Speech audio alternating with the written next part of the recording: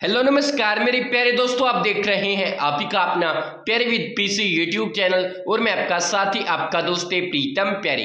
दोस्तों, सभी पेंशन लाभार्थियों के लिए बड़ी खुशखबरी आ चुकी है, जिसको भी बुढ़ापा विधवा, लाडली दिव्यांग या फिर बच्चों वाली निराश्रित पेंशन मिलती है। तो चलिए दोस्तों, वीडियो को शुरू करते हैं और आपको देते हैं पूरी जानकारी। तो दोस्तों, अगर आप भी एक पेंशन लाभार्थी हैं, आपके भी खाते में प्रति माह अगर पेंशन हरियाणा सरकार डालती है तो आपके लिए इस बार बड़ी खुशखबरी आ गई है। क्योंकि दोस्तों, आपको पता ही होगा कि आपको हर महीने पेंशन का इंतज़ार करना पड़ता है और वो भी लंबा इंतज़ार करना पड़ता है। और दोस्तों, जो पेंशन है, वो आपके बैंक खाते में महीने के आखिरी सप्ताह में आती है। लेकिन लेकिन दोस्तों, इस बार हरियाणा सरकार ने बड़ी खुशखबरी, बड़ा तोहफा दे दिया है, जो आपकी पेंशन है।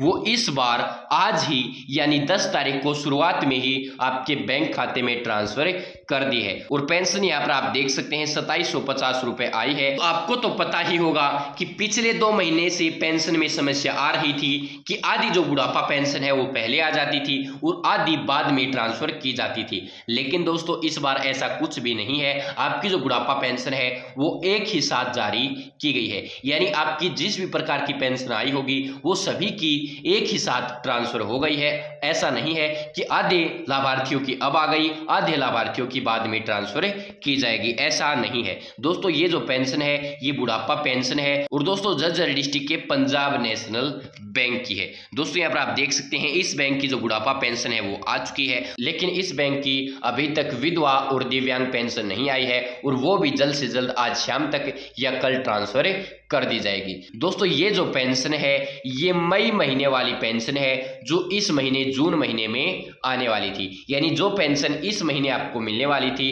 वह पेंशन है। तो धन्यवाद दोस्तों, यही जानकारी आपको देनी थी। अगर जानकारी में आपको कोई कमी लगी हो तो उसके लिए मैं दिल से माफ़ी चाहता हूँ। आगे से आपको और भी अच्छी और बेहतरीन वीडियो देखने के लिए मिल जाएगी। दोस्तों, अगर आपको वीडियो पसंद आई हो तो वीडियो को लाइक करना, चैनल को सब्सक्राइब करके घंटी के बटन को दबा लेना, ताकि जो भी मैं वीडियो डालूँ, उसका मैसेज आप तक पहुँच पाए। धन्यवाद दोस्तों। जय जय भारत, जय हरियाणा, जय जवान, जय किसान। धन्यवाद मेरे प्यारे दोस्तों।